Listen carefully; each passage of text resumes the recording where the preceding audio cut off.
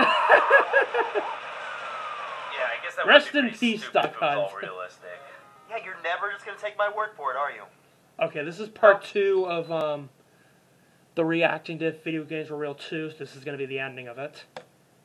Oh, time for my rollerblade lessons. See ya. Rollerblading lessons, nice. Gee.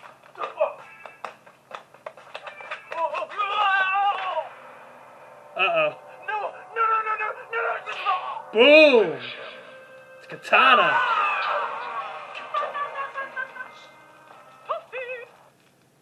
To see bloopers and a Nice. Katana with the win.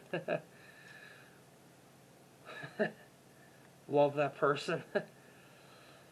uh, this- these videos are so funny. Alright, so that's the end of If Video Games Were Real 2. We will, I will react to If Video Games Were Real 3 and 4 in the, in the next video. Hope you enjoyed this video. Thank you for watching. Goodbye.